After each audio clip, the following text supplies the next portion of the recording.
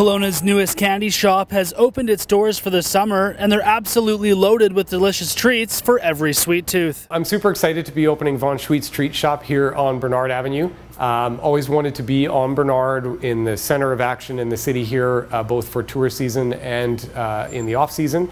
Um, and I thought a candy store would be a wonderful addition to uh, Kelowna.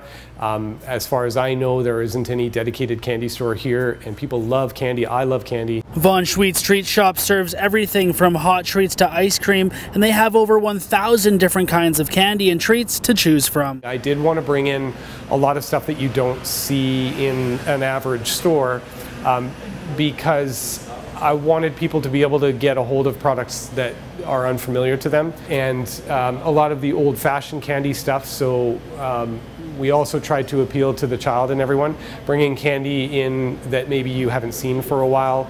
Um, you know, like the blue whales and the uh, Green Army guys. When decorating Von Schweet's, Barkley tells Castanet he was inspired by Charlie and the Chocolate Factory. I created these moving um, three-dimensional displays um, and I decided to take it even a step further and allow uh, for some interactivity with the customer. So I've set up these buttons around the store. They're marked fun buttons because, I mean, it's fun to push a button and make something go.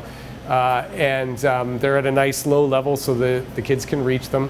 And when you press the button, the display runs for 30 seconds and it's got those moving wheels and pumping pistons and kind of simulates a, a conveyor belt system in a candy, candy factory, if you will. The grand opening for Von Schweet's Treat Shop is Canada Day this Saturday, July 1st, with the doors opening at 10 a.m.